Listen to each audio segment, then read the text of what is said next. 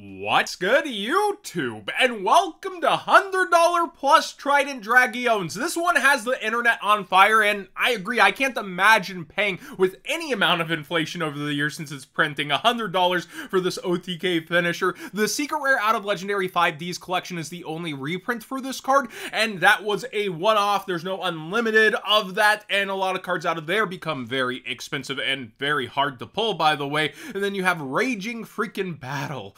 Uh, with this card, like, yeah, you're going to want it for Tenpai. You're definitely going to want to have access, but uh, so many people are either saying they're biting the bullet on it or waiting and hoping for a reprint, and where are those reprint windows? We have Rarity Collection, but I don't think Konami's going to be on the ball there in terms of wasting a slot for this card. It would actually be nice to see for the player base, but you got to also think Konami loves seeing cards like this get this expensive so that they can cash in on it one time again, and it's just painful to see. Also, Heatwave only has its three printings, two being speed duels, and then good old Star Strike Blast, and people want access to this card too, so be aware. That's a $20 card. Tenpai definitely tearing up the market going into the banless season, and people expecting to also choose it as their WCQ deck, but Fire is still very powerful. Summon Breaker looks to be replacing Summon Limit. I, this card's just not as good.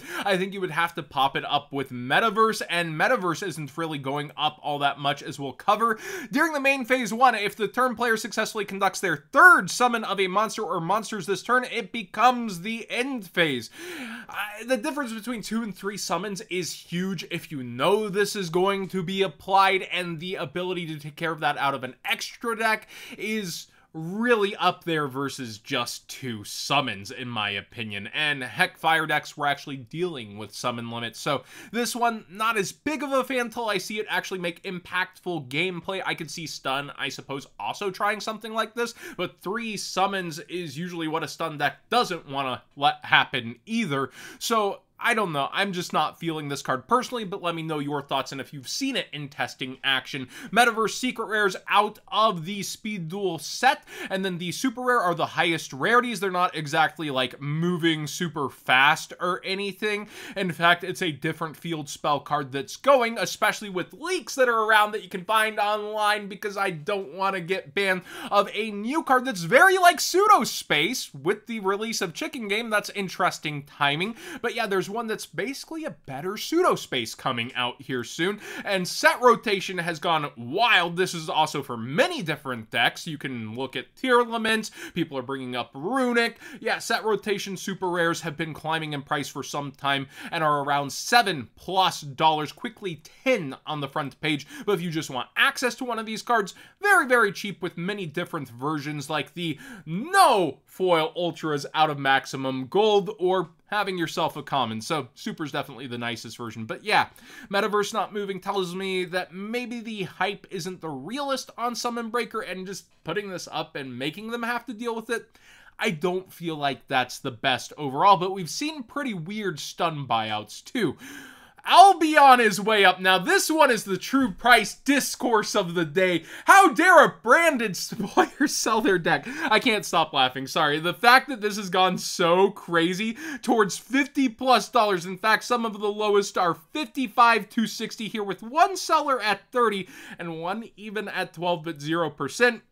I feel like this card has gotten absolutely ridiculous for what it is. Did you really think the ban list was going to hit your branded deck and you sold your branded deck? People who play branded, everyone I know who plays branded has not sold their branded deck, especially in preparation for a ban list. So this spike is just ridiculous to me, in my opinion, that people are scrambling for it. But Tearlament's best deck every ban list, am I right?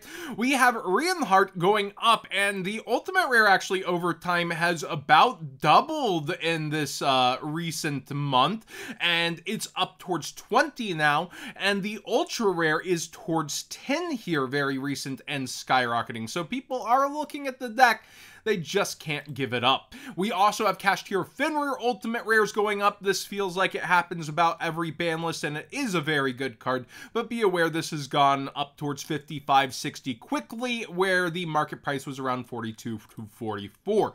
Dimension Shifter is the card I have heard mentioned a ton with Thunder Dragon and for the format, and the Quarter Century Secret Rare has gone up a lot. I personally love the Prismatic Ultimate Rare. I think it looks so good on this card personally, but there are many different versions to choose from, especially nice versions, thanks to the Rarity Collection that are very cheap and great looking for $10 playsets or less. But yeah, if you're wanting to play the quarter century secret rare, that playset's getting up there towards 150 freaking dollars.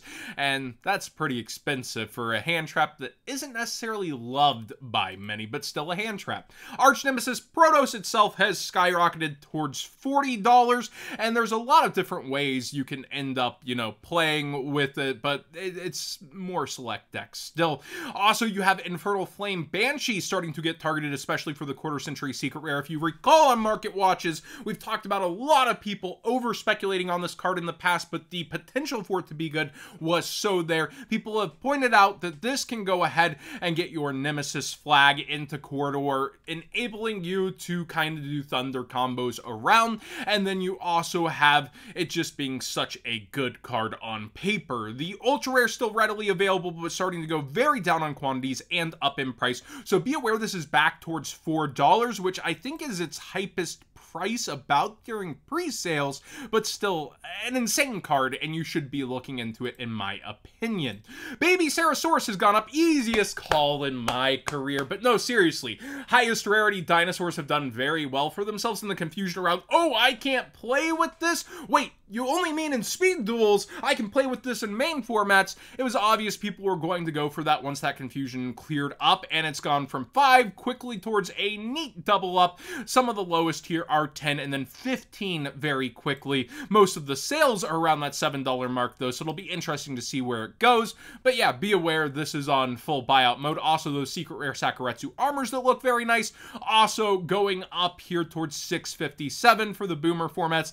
Speed Duel secrets just feel oh so nice. I did see some people commenting about quality control with the set though, so you might want to be getting these pieces in person instead of online. Let me know if you've heard about quality control issues.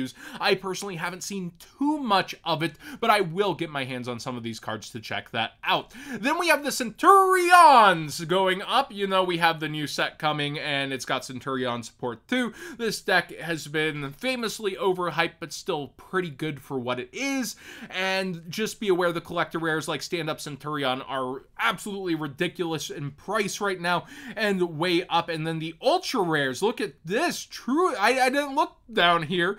Uh, Trudea is way up versus what it was. One at 30 before it's a $43 card, and many sales around that 43 45 I, I did not know this was at this price for a ultra rare. That's kind of crazy.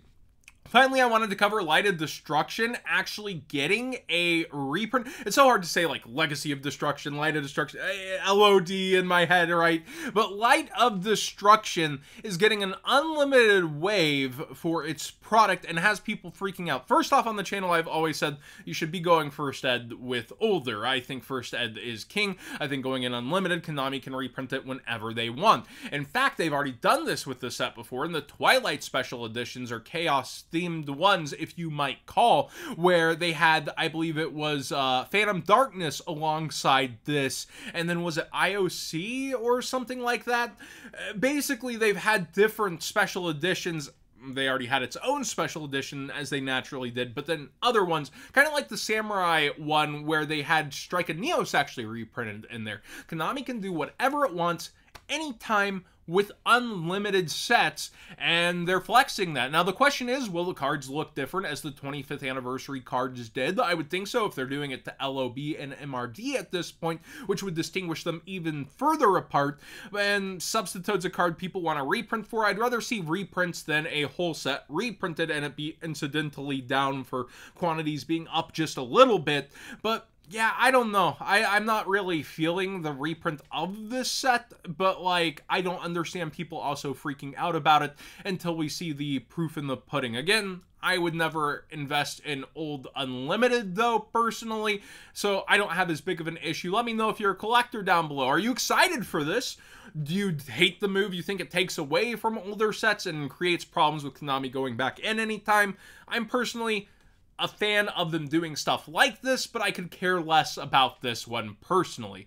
Thanks for watching today's Market Watch. Please subscribe if you haven't already. Give this video a thumbs up if you enjoy the conversations and the takes, because I'm always going to come from the heart and say where I do feel about things. I'm not going to argue something for the sake of argument.